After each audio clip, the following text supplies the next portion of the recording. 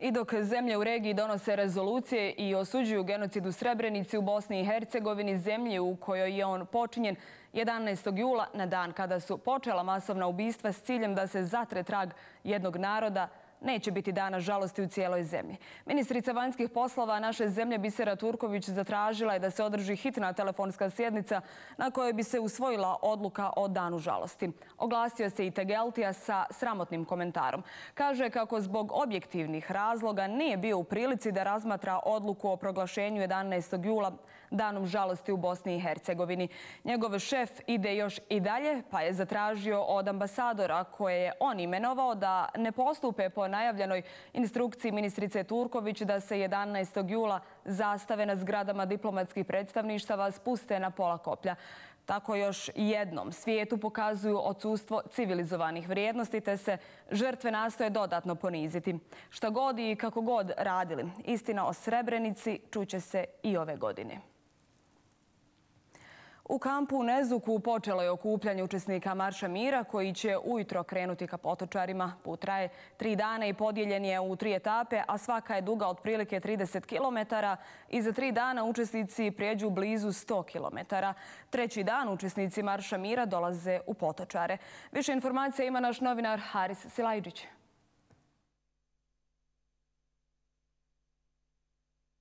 Do još jedne kolektivne dženaze u Potočarima ostala su četiri dana. Inače, program obilježavanja 26. godišnjice genocida u Srebrenici praktično traje od početka mjeseca jula, dok same pripreme za sve aktivnosti traju mjesecima. Međutim, ono što nikada ne prestaje jeste nada preživjelih da će naći svoje najmilije koje su izgubili u genocidu. Ove godine bit će ukopani posmrtni ostaci 19 osoba, a među njima i dvojice maloljetnika, 16-godišnjeg Azmira Osmanovića, koji je i najmlađa žrtva genocida koja će biti ukopana ove godine, te 17-godišnjeg Fikreta Kiverića. Upravo podaci o broju maloljetnih žrtava pokazuju razmjere zločina i brutalnosti. Naime, u Memorialnom centru u Potočarima do danas su ukopani posmrtni ostaci 435 maloljetnika, Bez obzira na sve, porodice žrtava uvijek ističu kako na neki način osjete olakšanje kada barem znaju gdje je mezar njihovih najmilijih. Mi smo razgovarali sa predstavnicima organizacijonog odbora za obilježavanje 26. godišnjice genocida kako bismo saznali da li je sve spremno za komemoraciju i ukop. Mi smo juče imali, eh, to je dođe ustavljeno tako, eh, da kažem, zadnji onaj pripremnoj fazi ovaj sastanak, a to je bio četvrti sastanak organizacijalnog odbora gdje smo analizirali i gdje smo imali izvještaj uglavnom po izvještaju predsjednika pod odbora eh, koji sam juče dobio, sve je spremno. Dakle, ono što je dinamikom i vremenski onaj planirano, sve je ispoštovano do ovoga trenutka i mi smo uglavnom zaključili da je sve spremno za E, obilježavanje, to je dženazu 11. u nedelju. Mnogo je aktivnosti i događaja kojima se svake godine obilježava stradanje Bošnjaka u Srebrenici. Na sve to prošle godine utjecala je pandemija koronavirusa, pa je broj ljudi na svim događajima bio manji, odnosno ograničen. To je bio slučaj čak i kada se radilo o Maršu mira, a ove godine situacija je nešto povoljnija. Određene su mjere svakako na snazi, ali evo šta kažu organizatori kada je u pitanju sam Marš mira.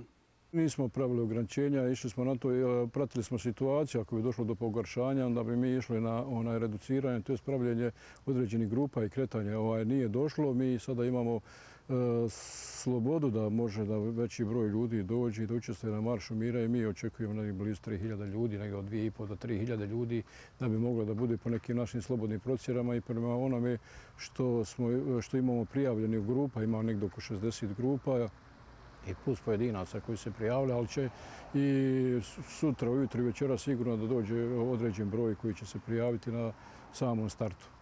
Na kraju ćemo napomenuti kako će ekipa Hayat televizije sve ove aktivnosti i dalje pratiti. Više detalja svakog dana donosit ćemo u našoj centralnoj informativnoj emisiji Vijesti u 7, ali i na portalu hayat.ba. 11. jula pripremili smo cjelodnevni program posvećen obilježavanju 26. godišnjice genocida u Srebrenici. U Srebrenici se danas razgovaralo o tome i kako se usmena historija može iskoristiti za borbu protiv revizionizma i negiranja zločina. Bila je to jedna od tema konferencije koju su organizovali Memorialni centar Srebrenica i Balkanska istraživačka mreža BiH, na kojoj je predstavljen i zajednički projekt Životi iza polja smrti. Svjedočenja su to sto preživjelih žrtava genocida, a javnost će sada imati priliku vidjeti lica, čuti priče i ne stvarati sliku o genocida o genocidu u Srebrenici samo kroz broj nastradalih koji se konstantno negira. Poslednji put oca sam vidjela 11. jula 1995. godine. Tad su ga odvojili na potočarma, jer ja sam već bila prošla, ušla u taj autobus i stajajući tako na stepenici da me vidi gdje sam, u kom sam autobusu roditelji, njemu nisu dali da pruči. Kraju mog oca su pronašli u jednoj grobnici.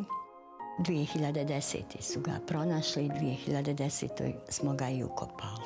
Jedna je ovo od stotinu priča koje su u okviru projekta ispričale preživjele žrtve genocida u Srebrenici. O njihovim najmilijima svjedočit će i lični predmeti koji će biti dio stalne postavke kako bi ukazivali na živote iza strašnih brojeva u Srebrenici.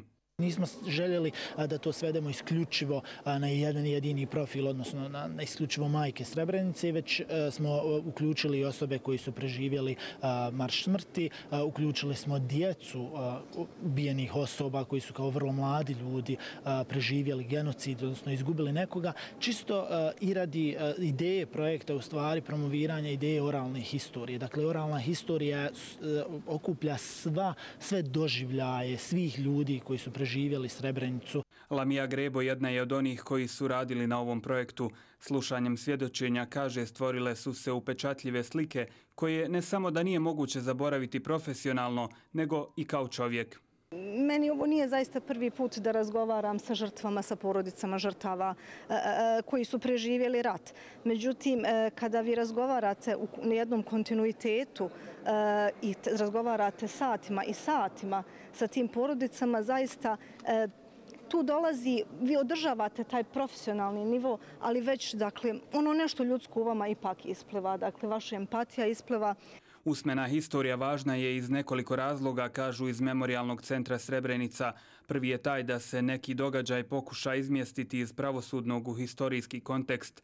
O genocidu je pred sudovima podsjećaju bilo mnogo svjedoka, ali postoje i deseci hiljada neispričanih priča. To što neka priča nije imala pravosud, krivično procesno, ako tako mogu reći, vrijednosti, nije mogla nikog poslati u zatvor, ne znači da, to, da ta priča ne treba da bude zabilježena u istoriji, da nama nije važna sa istorijskog stanovišta. I zato nam je važan ovaj projekat, zato nam je bilo važno da ovo radimo, zato nam je važno da nastavimo obučavati jednu generaciju a, istraživača koji će nastaviti da rade usmene istorije kad jednog dana ne bude mislim, ni mene, ni, ni bilo koga ko se danas bavi time ovdje. Realizacijom ovog projekta omogućen je ozbiljan razgovor o revizionizmu i načinima borbe protiv njega.